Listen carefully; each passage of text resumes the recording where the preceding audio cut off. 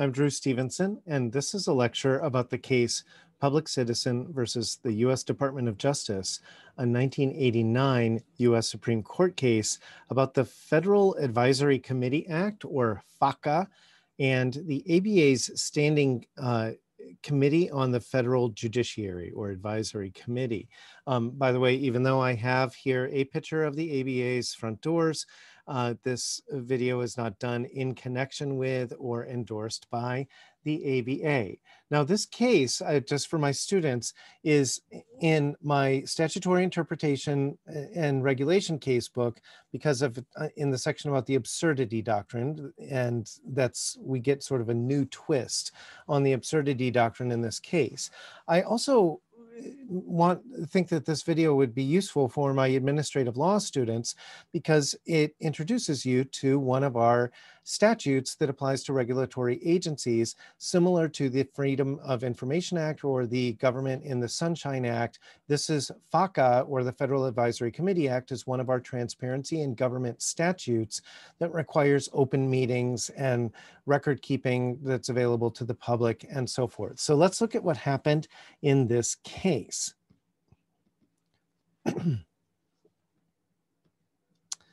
The Federal Advisory Committee Act, or FACA, imposes a variety of record keeping and open meeting requirements on outside advisory committees, including temporary charters. They have to be reconstituted every two years and balanced membership. They're supposed to have members from various viewpoints.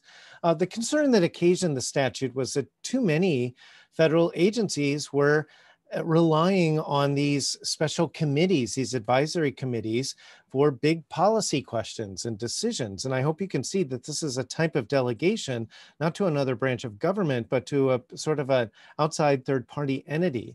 Some of these um, advisory committees were impaneled by the agencies. So the agency would put together some experts um, and to advise on policy decisions, especially difficult questions. Um, and that uh, that required a lot of let's say scientific knowledge or something like that or knowledge of the industry and sometimes these were professional associations like what we're going to talk about in this case I hope you can see the arguments for and against having these advisory committees. On the one hand, um, agencies love to get the right answer and really like to talk to the experts and rely on the, the people with the most knowledge. So why wouldn't you want to get advice from a panel of super knowledgeable people on this subject?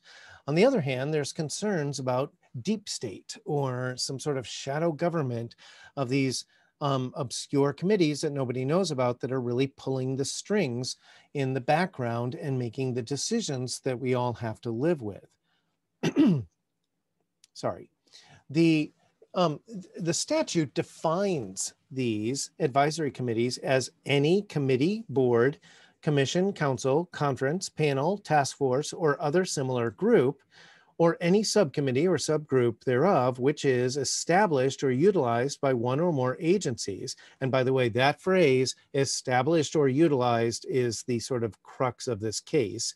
In the interest of obtaining advice or recommendations for the president or one or more agencies or officers in the federal government and so the question that there's no question that in this case where we're talking about the ABA, that the agencies didn't establish the ABA, but they were using advice or recommendations from the American Bar Association.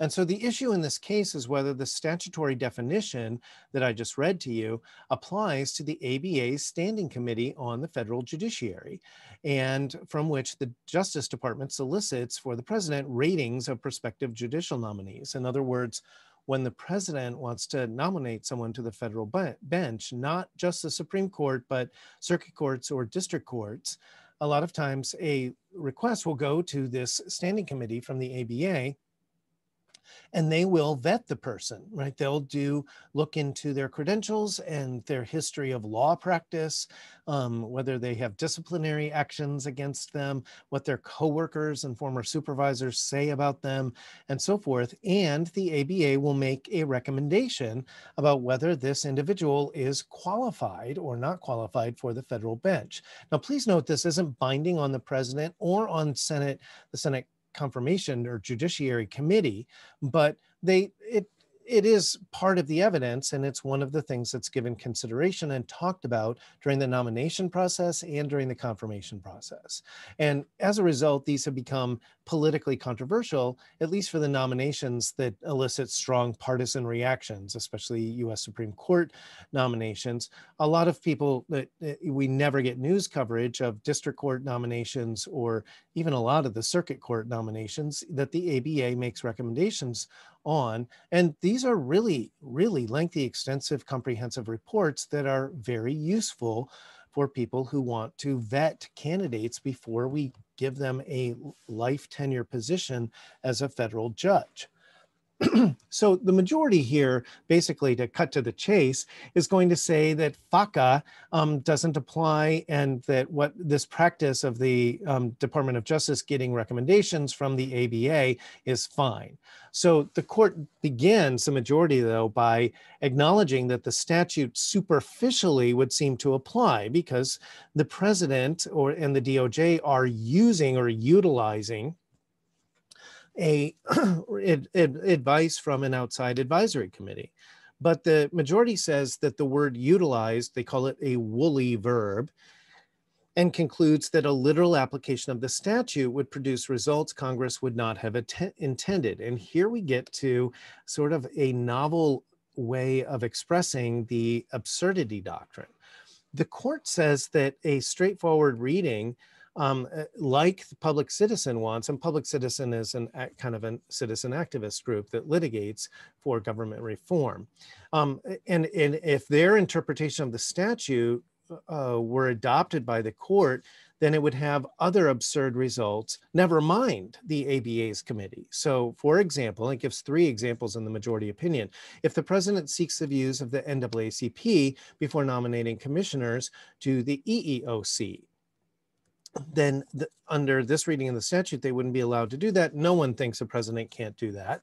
And so that would be absurd. Or if the president, quote, asks the leaders of an American Legion post for the organization's opinion on some aspect of military policy, why shouldn't the president ask veterans associations, basically that's what the American Legion is, um, what their views are of some pending um, foreign policy decision? Uh, here's the third example. If the president consults with his own political party before picking the cabinet. Well, of course, we think the president is going to consult with his party's leadership before picking his cabinet when he gets elected. And so the court uh, concluded that Congress would not have intended um, that we use the words literally, and they invoked the Church of the Holy Trinity case. Sorry, that should be in italics.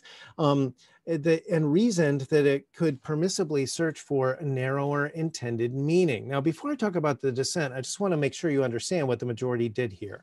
So, normally we, we have this very old doctrine of the absurdity doctrine eh, that for statutory interpretation, where courts can kind of draw the line at a inconceivable result and say, so look, we're not going to give the statute a literal reading if it produces an inconceivable, absurd result, but it's always the result in that case. And here, the problem is that it's kind of conceivable that Congress might have a problem with how powerful the American Bar Association has become and the role they play in um, picking federal judges and vetting federal judges for nomination.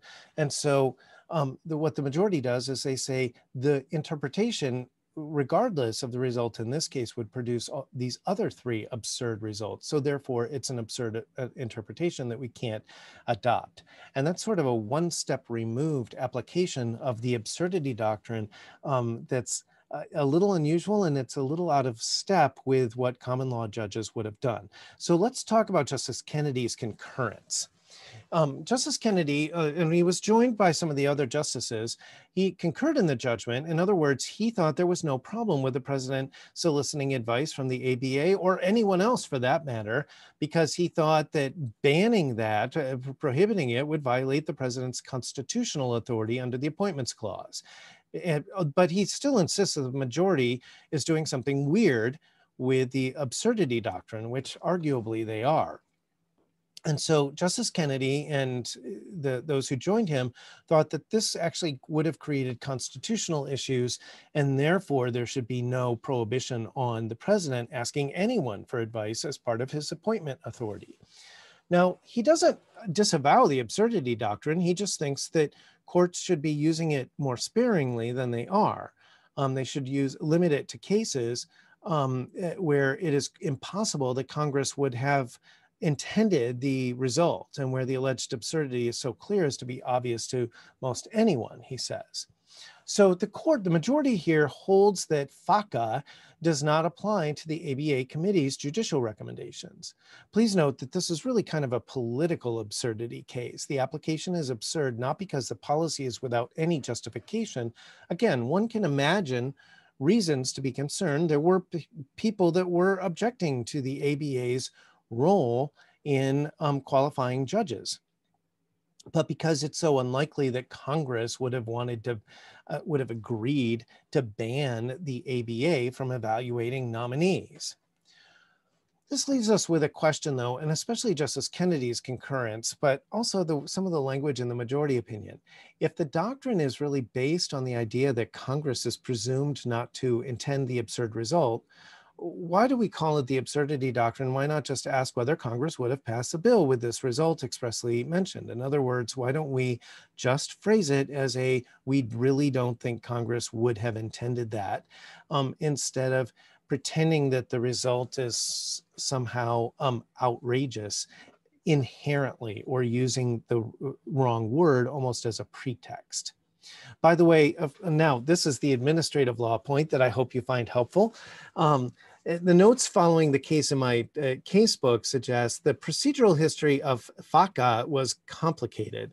And there were rival bills that went through each house of Congress, basically. So when, uh, if you think back to the I'm just a bill sitting on Capitol Hill, you could have slightly different versions of a bill going through the House and the Senate at the same time and get voted on or uh, approved by both houses.